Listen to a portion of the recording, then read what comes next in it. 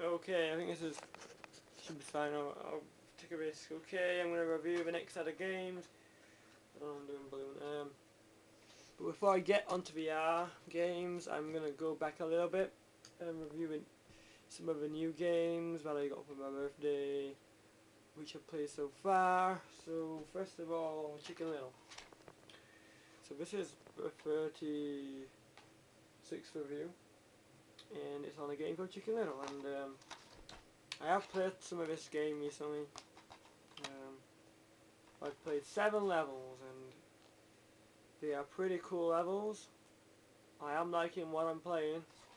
I think it's good how it's um, very based on the film. So I would say this is a good game.